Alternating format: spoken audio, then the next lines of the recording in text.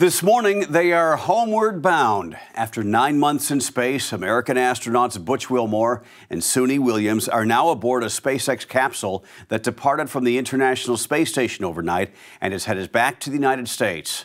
Wilmore and Williams had been at the ISS for what was expected to be approximately a week long mission, but it turned out to be a very long ordeal.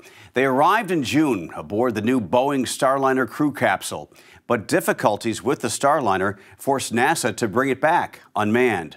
While the two astronauts remained in space, a February return was then postponed as there were issues with the SpaceX capsule. President Trump then urged Elon Musk to speed things along. Musk's SpaceX sent up a used capsule that docked on Sunday and picked up Wilmore and Williams along with two other astronauts. The capsule is set to splash down off the Florida coast around 6 p.m. Eastern.